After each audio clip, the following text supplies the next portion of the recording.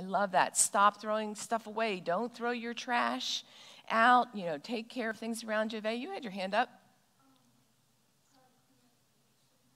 Clean up the beach. I like it. You know, there are a lot of great ways cleaning, making sure you don't throw down trash, picking up trash when you see it. And then there are some real easy ways and simple ways that we can make sure that our world stays beautiful. I brought here a container that used to have Miss Judy's tuna in it from Billy Seafood. And if you haven't tried that, I am not a paid endorser, but honey, I'm telling you, this is the best tuna salad on the beach. And then you get this cool container that you can reuse. And I was thinking about how when we go to the beach and we want to take snacks, sometimes we take these like individual bags of snacks, and then we have this wrapper that we have to take care of, and it goes in the trash and it goes in the landfill. But if you take your Miss Judy's tuna container and you fill it with snacks from a big bag, you know, pretzels or goldfish or whatever you want, and then you can bring this home and you can wash it and reuse, reuse, reuse. So that's one of the ways that we can all take care of our earth. And the same thing applies to water. If you take your handy Delta Airlines water bottle, I'm not a paid endorser, but Delta Airlines is the best airline, just saying. But you know, you drink this water, and then what happens to the bottle? You have to throw it away. Hopefully, you put it in the recycling. But most of things that are plastic don't get recycled. So instead of this little bottle to the beach, you take this little guy, fill it up with water, drink it, bring it home, wash it, and reuse it again. And I am even showing you all these things in my Joe Lamb Realty. I'm not a paid endorser. but this is a bag that I've had for years and years and years and years, and I can reuse it. So, those are just little things that everybody can do and that will help us keep our beautiful world beautiful. So, this week, talk with your parents about ways that you guys can help keep things around us very pretty. And maybe a good idea is to go on a trash walk on the beach. Take a bag with you, put the trash in it, throw the trash away, and we can make our environment nice. Let us pray together. Dear God, thank you for our beautiful Outer Banks. And all together, all of God's children said, Amen. You guys may go off to Children's Church. And there goes Miss Brandy. You can follow her out there.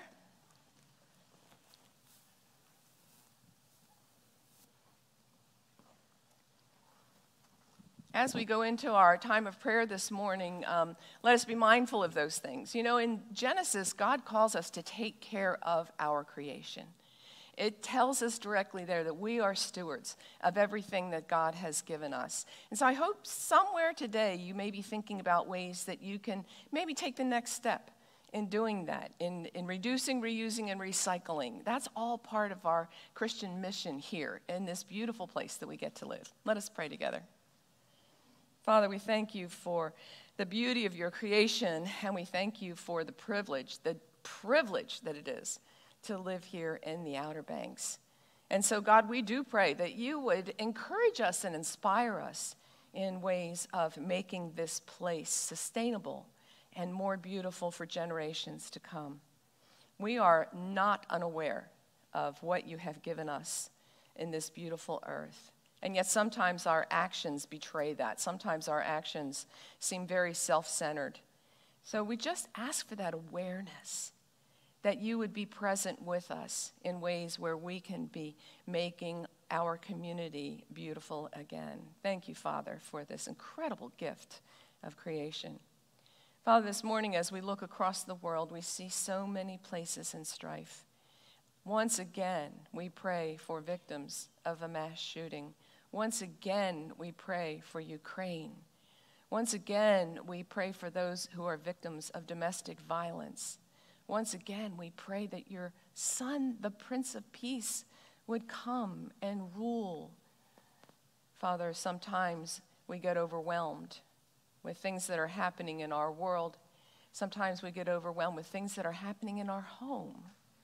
And so we pray, God, that you would remind us in those moments that you reign, that we are citizens of heaven, that we have something beyond this moment this tragedy, this situation, this illness, this death.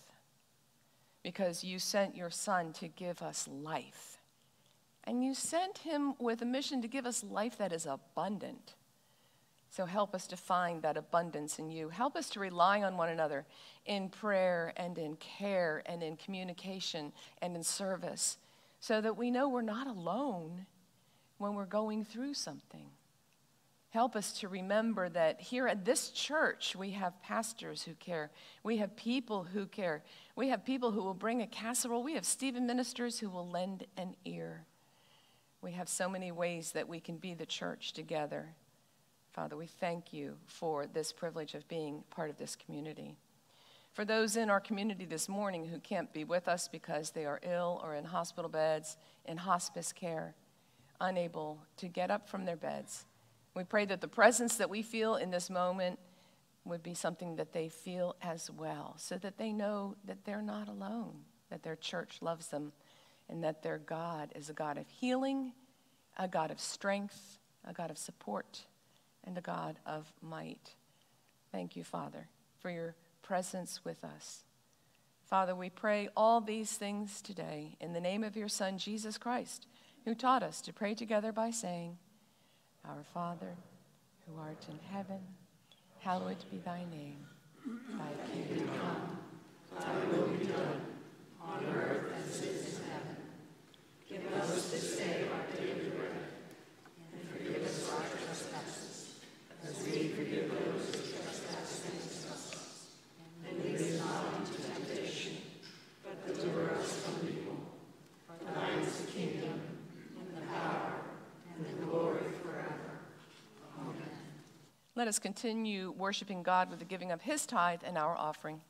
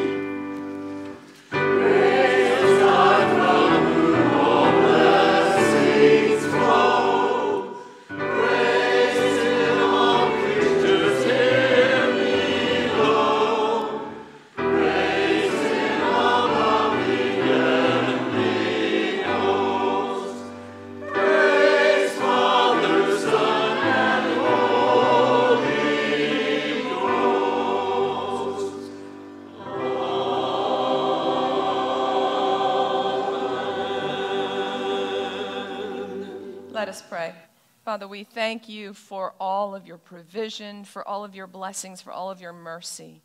We thank you that you are interested in us. Father, we pray that you would bless these offerings, that they can go into the world to proclaim the good news of Jesus Christ everywhere. Amen. Amen. Our scripture for this morning Psalm chapter 19, verses 1 through 6. Hear the word of the Lord. The heavens are telling the glory of God, and the firmament proclaims his handiwork. Day to day pours forth speech, and night to night declares knowledge. There is no speech, nor are there words. Their voice is not heard. Yet their voice goes out through all the earth, and their words to the end of the world. In the heavens, he has set a tent for the sun which comes out like a bridegroom from his wedding canopy, and like a strong man runs its course with joy. Its rising is from the end of the heavens, and its circuit to the end of them, and nothing is hid from its heat. This is the word of God for us, the people of God. Please be seated. So, for the month of July, we are discussing beauty and how beauty interacts and informs with the Christian life. And this morning, we are talking more specifically about the beauty of creation and how God's creation can draw us into God's presence. And having been drawn into God's presence, it can then inspire us to worship. I mentioned last week that if it weren't for humanity's draw towards natural beauty, I mean, the Outer Banks wouldn't exist, or at least it wouldn't exist as it exists today. I mean, because as human beings, we are drawn towards natural beauty. Uh, we are drawn towards the vastness of the ocean, the playfulness and the power of a wave, the colors and creatures of a shoreline, right? the burst of light and warmth from a sunrise or a sunset, right? memories created at the beach. Right? The natural beauty of, of God's creation. It's why folks live here, it's why folks visit here. Right? They come or we come chasing moments of beauty.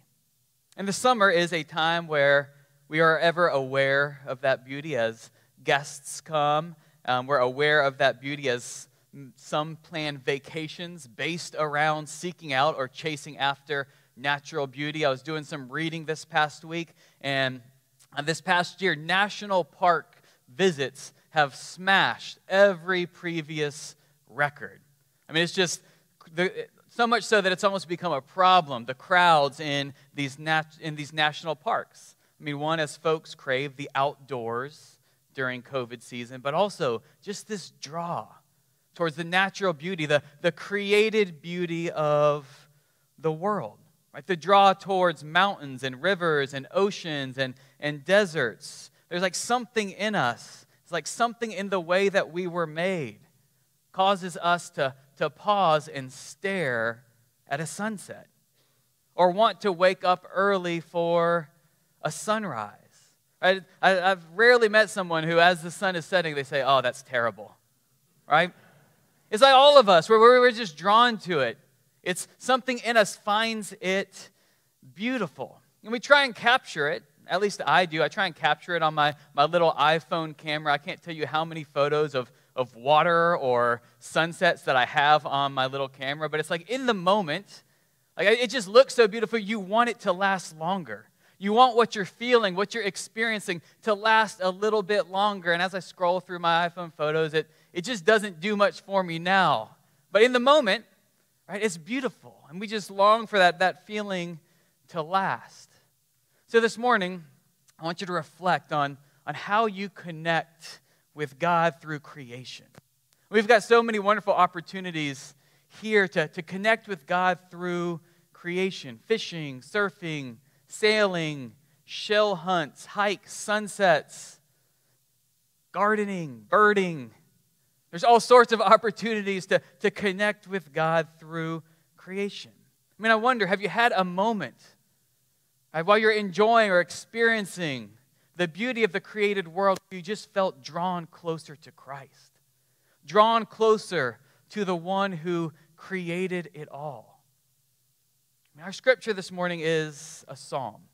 And so many of the psalms, and a good portion of scripture for that matter, interact with God's creation, interact with, with the created world. We've got creation stories, stories of animals, stories of, of gardening. In the Old Testament, there's so many stories about the land that, that, that deal with uh, the, the land. In the New Testament, even, we've got stories on the Sea of Galilee, meetings with God on, on mountaintops.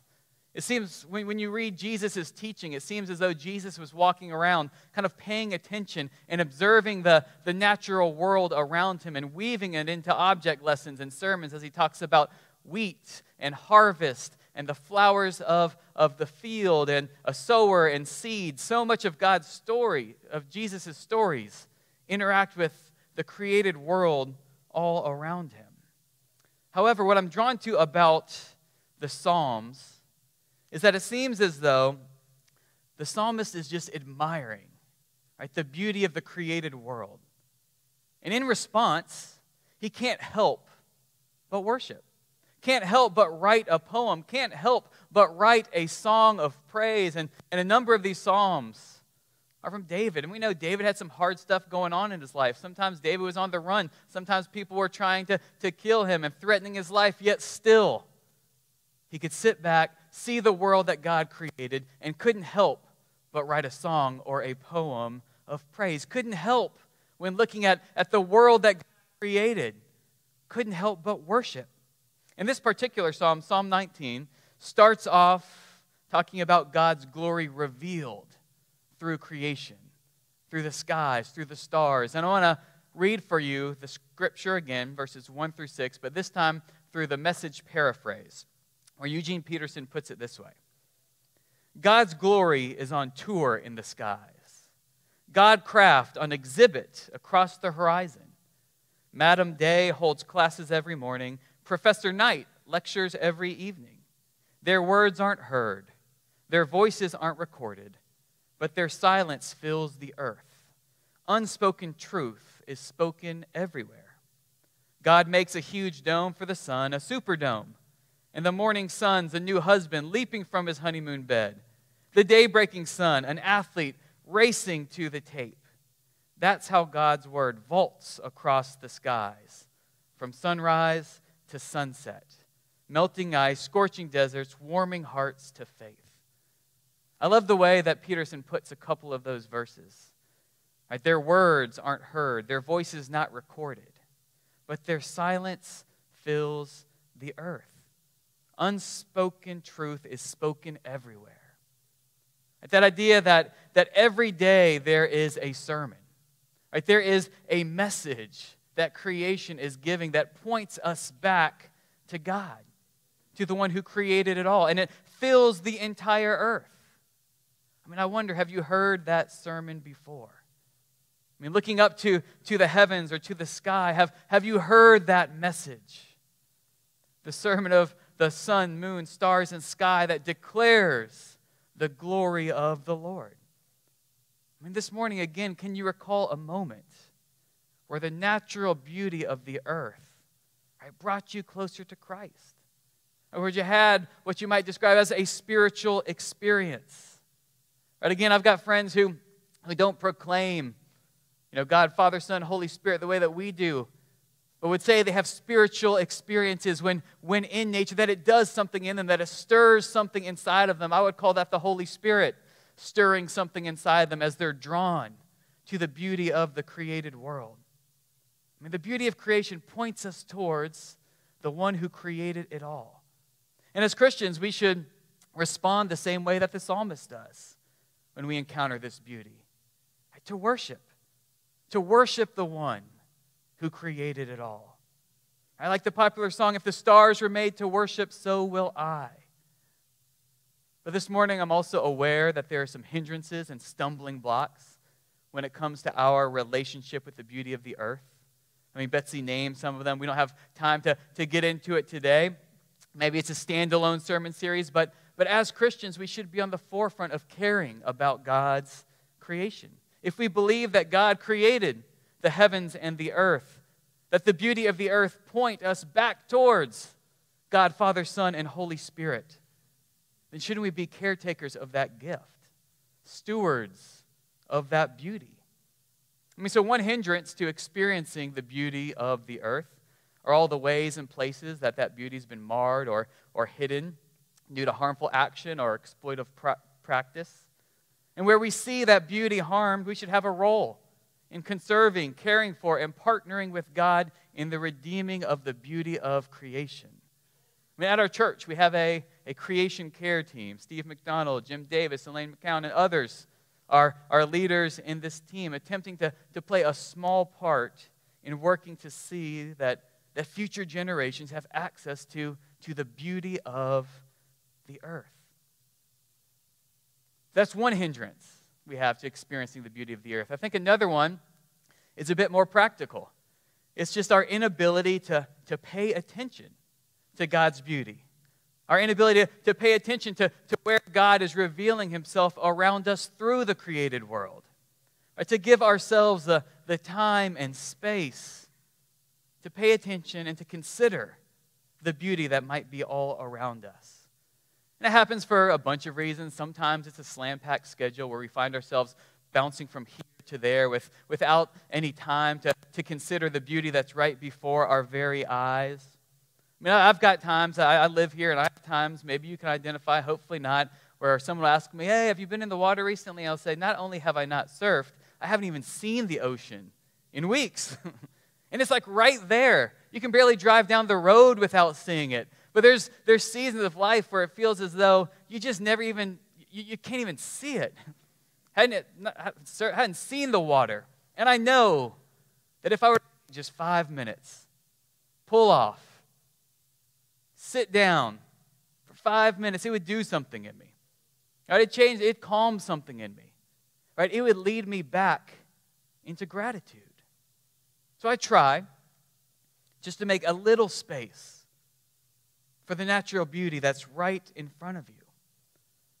And not only is it a schedule, it's also the, the draw towards technology or the draw towards screen and, and the dopamine hits that, that you can get from an iPhone. Right? It's hard enough to, to pay attention as is, but now with these machines that are constantly calling for us, demanding our attention, right, it makes it even harder to experience some of the natural beauty right in front of us with a, a, a world of information at your fingertips, sometimes it can be hard to pay attention to the leaf, a blade of grass, the blood, a butterfly. Right? To, to notice. Sometimes it feels it, it can feel impossible. And maybe some of it is, is getting back to that sense of, of childlike wonder. You know, one of the things I like about real little kids is that they're just amazed or almost shocked at times by like everything. Right? The, the, the feel of, of grass on their feet right, can induce a smile. Right? The way that, that sand feels or sand tastes at times. Right? Can't help but try it. Right? The surprise when, when, when, when, a, when a little guy puts his hand in water. Right? The surprise and joy that comes from that, that childlike sense of wonder, right? Being taken with, with, with a leaf and the crunchy sound it makes. I think some of it is, is that there's something too, and Jesus says you got to become like a child. To recapturing that, that childlike sense of wonder. I had a thought of that this past week as you know we took our family to do fireworks off Herbert Perry Road at the end there, and it was a, a perfect spot for viewing and launching off we had a friend that was launching off huge fireworks. So we got to launch off some, some huge fireworks, but you could also see Manteo and Nag's Head, and you could see all across the beach just fireworks shooting off everywhere. It's a perfect spot to, to view uh, the fireworks on 4th of July. And as things were, were wrapping up, it was pitch black. You know, I was still watching some of the fireworks. We had already launched off all ours. And it looked as though one of the towns was getting near their finale. And so I was calling for the boys. I was like, come on, come on. You're the reason we're here. Like, like, let's look at these things. Like, it is getting close to the finale. And I couldn't find them anywhere. It was pitch black. And I heard these voices, like out in a field somewhere. And sure enough, there they were running around chasing lightning bugs. Just amazed by these creatures of the lightning bug, right? And I thought in my head in that moment, that's a parable for life. In a life filled with fireworks and loud noises and, and booms left and right and in front of you. Notice the lightning bug. And summer. I mean, summer is a time when, when schedules change. I invite you and challenge yourself to, to schedule in some time to rest, to gaze upon, as the psalm said last week, the beauty of the Lord. Right? To, to, to rest in the beauty of God's created world. I mean, maybe that looks like a weekend or a vacation or a quick 10 minute stop at the beach to look at the ocean and, and to wonder what God might have for you in this life, or stop by the sound and to enjoy a sunset and to hear again that sermon from the sky that Psalm 19 points us towards. I mean, pay attention. I mean, the queen of, of paying attention in my book is the poet Mary Oliver. I had someone come out the door last week who, who I think I introduced them to Mary Oliver and was hoping that I was going to mention her in last week's service. And so I was like, girl, you ain't got to ask me twice. like, I'm coming in hot with Mary Oliver this week. So I kind of just want to read you her poetry for the rest of the time, but I won't fully do that. But her poetry, one of the things I like about it is it inspires me to, to pay attention, to pay attention to nature, to pay attention to my surroundings, right? to, to pay attention and to hear that, that sermon from Psalm 19, to inform a life, to, to even change a life. I listened to an interview from her this past week, and she said, I, I quoted Dostoevsky last week, that quote, that beauty will save the world. We're going to pick that up in the coming weeks again. And she quoted it again in, in her interview. She said, beauty, The beauty of the world saved my life. She grew up in a household that was abusive, and so she spent every waking minute that she could outside, in the forest, taking walks. And she said, That beauty saved my life, and, her, and it got her in the practice of paying attention. You spend enough hours out of there, out there, you start to notice things. And as she started to notice things, she started to, to write them down and to, to string them together into poems. But she's a, the queen of paying attention. I'm going to read one poem called Invitation for you. It says, Oh, do you have time to linger for just a little while out of your busy and very important day for the goldfinches that have gathered in a field of thistles for a musical battle? To see who can sing the highest note or the lowest, or the most expressive of mirth or the most tender. Their strong, blunt beaks drink the air as they strive melodiously, not for your sake and not for mine, and not for the sake of winning, but for the sheer delight and gratitude. Believe us, they say. It is a serious thing just to be alive on this fresh morning in this broken world. I beg of you, do not walk by without pausing to attend to this rather ridiculous performance. It could mean something, it could mean everything. It could be what Rilke meant when he wrote, You must change your life. I love how she's always, whenever I read her, it just inspires me to, to, to pay attention. And so much of her poetry isn't just about paying attention, but once she pays attention, it causes her to consider something bigger, right? The one who created in one of her most famous poems, When Death Comes, I was just going to read for you lines, but I'm looking at this clock and we got time. So settle in. I'm going to read all of this one. When Death Comes. She writes, When death comes, like the hungry bear in autumn, when death comes and takes all the bright coins from his purse to buy me and snap the purse shut, when death comes, like the measles pox, when death comes like an iceberg between the shoulder blades. I want to step through the door full of curiosity, wondering what is going to be like that cottage of darkness. And therefore, I look upon everything as a brotherhood and sisterhood. I look upon time as no more than idea, and I consider eternity. And I think of each life as a flower, as common as a field daisy, and as singular, and each name a comfortable music in the mouth tending, as all music does, towards silence. In each body, a lion of courage and something precious to the earth. When it's over, I want to say, All my life, I was a bride married to amazement. I was the bridegroom taking the world into my arms. When it's over, I don't want to wonder if I have made of my life something particular and real. I don't want to find myself sighing and frightened or full of argument. I don't want to end up simply having visited this world. I love that in her poetry, right, as she considers the daisy and the flower, right, it leads her to, to thinking bigger. And I found it true in contemplating and experiencing the beauty of the earth. Right? It leads me to consider something bigger, someone bigger, the one who created it all, and where my life fits in all that. It helps me to, to hear, right, that sermon, Psalm 19, that the psalmist references.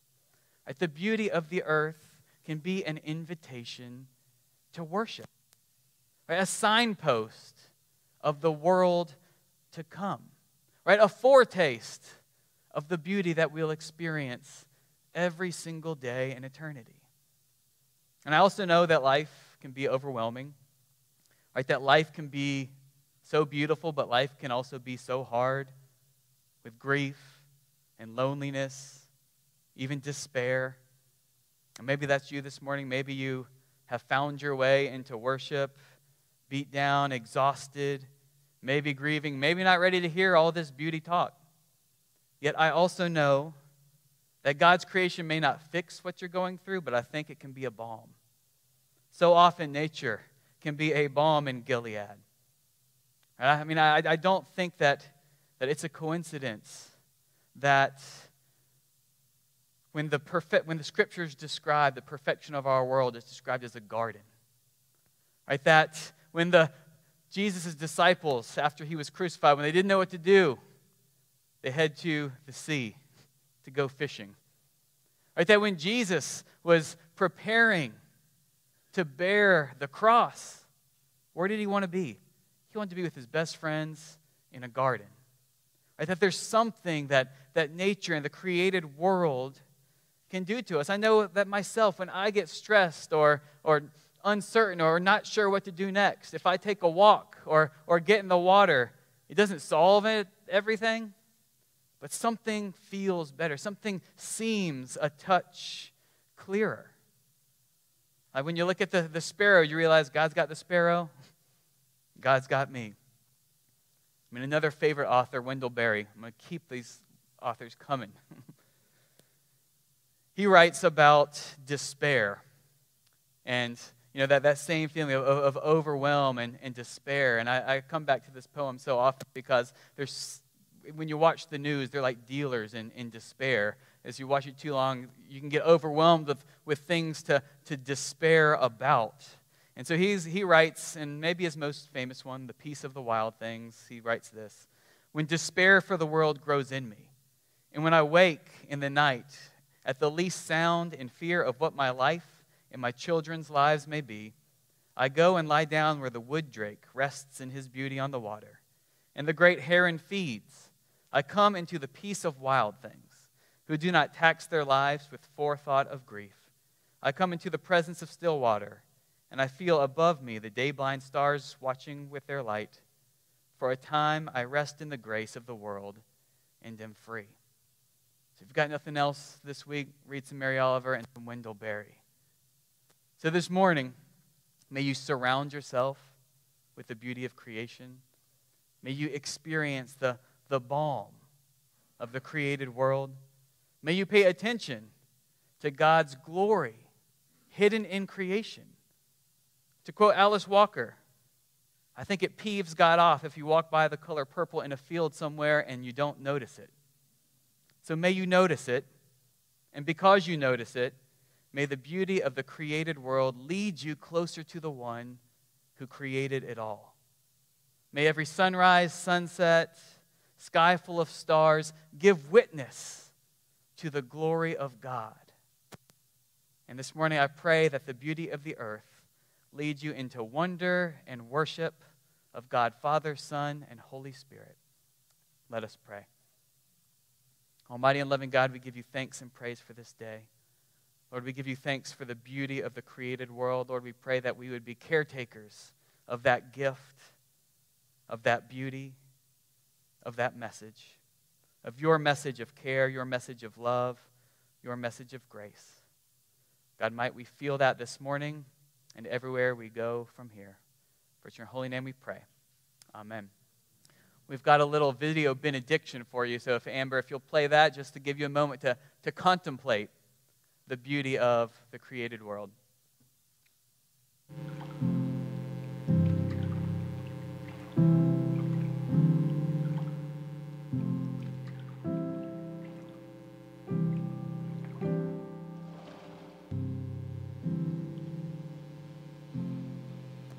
May Christ, who shimmers in all creation, surprise you each day with glittering moments. When you can see again how light lives in everything, how it partners with dark soil to bring forth aster and lavender, rosemary and daffodils, a hundred kinds of squash,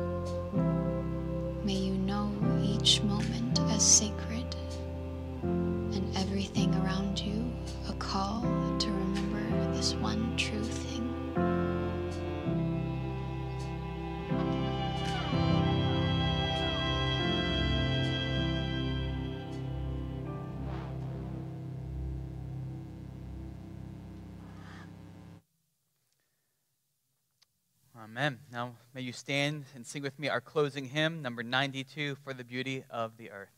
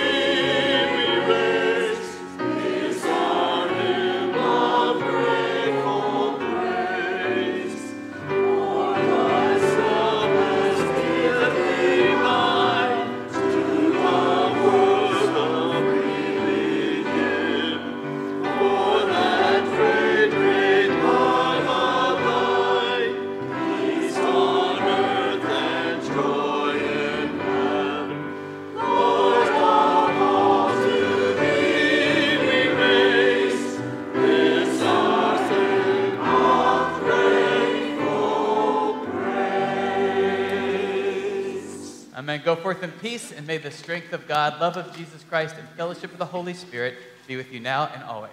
Amen.